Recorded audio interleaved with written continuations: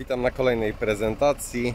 Dzisiaj przedstawimy Volvo V60 5-cylindrowy diesel w pakiecie Air Design.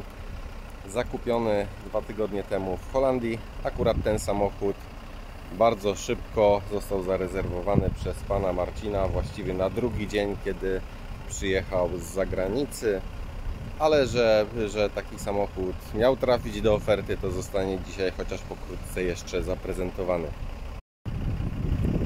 Ja od wczoraj tym samochodem jeżdżę, nie popełniając przestępstwa, ponieważ jest to już własność nowego właściciela. Zarejestrowane auto jest na nowego właściciela, dlatego wczoraj i dzisiaj jeżdżę tym samochodem bez tablic. Wczoraj odebrane auto z serwisu, bo e, klient sobie zażyczył nowe hamulce z przodu tarcze miały zauważalny rant, mimo że siła hamowania była dobra i dodatkowo serwis olejowy, tak aby ten samochód był przygotowany w pełni e, do jazdy. Tym samym e, ja wczoraj musiałem samochód odebrać z serwisu, e, a dzisiaj go chociażby umyć dla klienta, dlatego też no taka sytuacja. Klient jest właścicielem samochodu ma tablicę, ma dowód rejestracyjny, a ja musiałem te czynności właśnie wykonać, dlatego poruszam się samochodem e, bez tablic,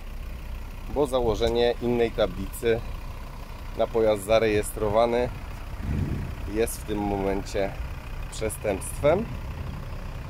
Dlatego tak, a nie inaczej e, jeżdżę tym samochodem. Samochód z 2012 roku E, przebieg to 244 tysiące kilometrów. Auto jest bezkolizyjne, całe w fabrycznym lakierze, co było pokazywane podczas zakupu w Holandii. Przejdźmy do środka.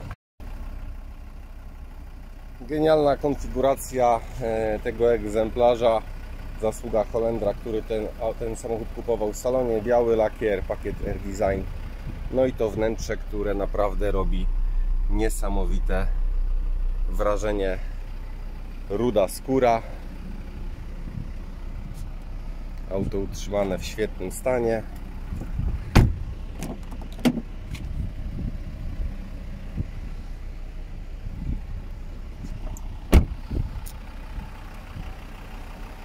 Także jeżeli ktoś szuka podobnego Volvo, wiecie doskonale, że nasza oferta jest powtarzalna, mimo że sprowadzamy auta różnych marek, to praktycznie cały czas powtarzają się jedne i te same samochody tych samych marek.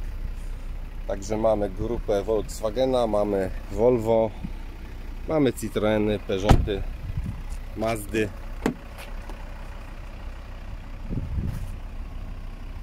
Nie mamy za to samochodów koreańskich, nie mamy Opla Mokki. Także jeżeli kogoś by takie Volvo interesowało, to zapraszam do subskrypcji naszego kanału i pozdrawiam.